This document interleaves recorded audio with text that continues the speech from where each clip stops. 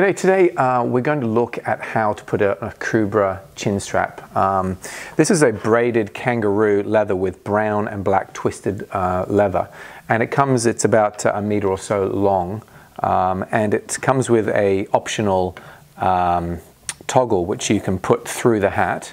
It's not the easiest thing to do but you can just thread it through and it, and it can obviously adjust the chin strap for you. Now um, the cheapest and easiest way to uh, can you zoom in just around this area here, is if the hat has eyelets, um, you can pop the, um, the uh, leather cord through there and then you can just back it back on itself.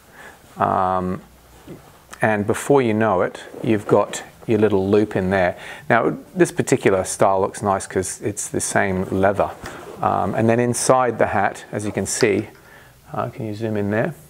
Um, you'll notice that um, you can actually do a quick stopper knot, uh, which any sort of little knot to stop it falling out, um, like that.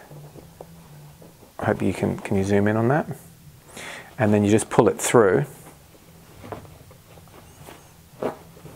And then that's one side of your hat done.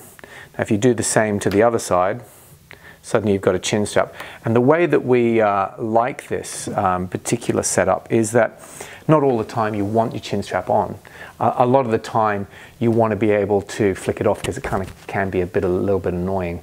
Um, so it takes less than uh, 30 seconds to pull it out, maybe keep it at home, keep it in your car. But if you're going out on a windy day or if you're going riding or going triking um, and you want that extra connectivity to your hat, um, you can put it in in what less than a minute.